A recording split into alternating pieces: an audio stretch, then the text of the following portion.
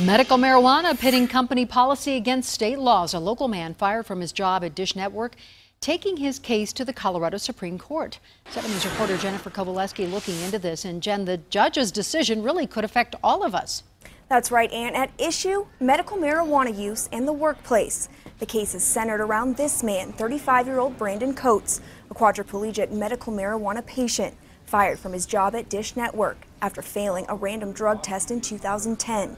Today, the state Supreme Court heard arguments from both sides, the dialogue at times leading to confusion. The justices will decide for the first time if medical marijuana patients have any job protection and if employers must tolerate medical marijuana use by employees.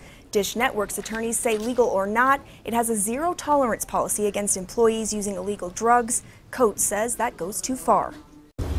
there's no evidence the employee was impaired, possessing, or using medical marijuana at work we believe that this case need not be an endorsement nor an indictment of medical marijuana.